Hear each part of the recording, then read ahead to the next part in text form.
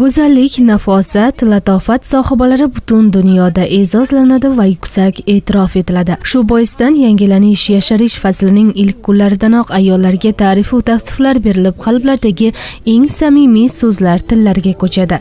Sakkizinchi mart xalqaro xotin qizlar kuni bayrami hududlarda keng nishonlanmoqda buxoro davlat tibbiyot institutida o'tkazilgan madaniy ma'rifiy kecha ham ayni shu xususda kechdi. Unda so'z olganlar ayollarga ulug' va mo'tabar zotga bo'lgan bo'lgan betakror izhorlarni bayon etishdi.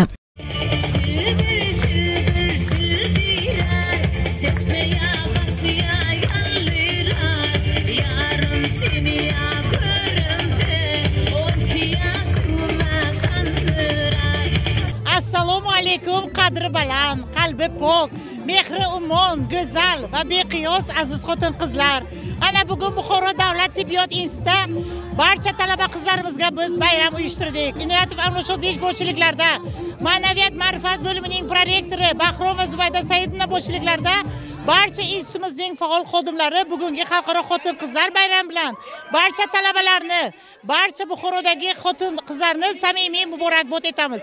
Sizlarni har doim qalbingizda quvonch muhabbatingizga ishonch labingizda kulgu va tabassum arimasin deymiz.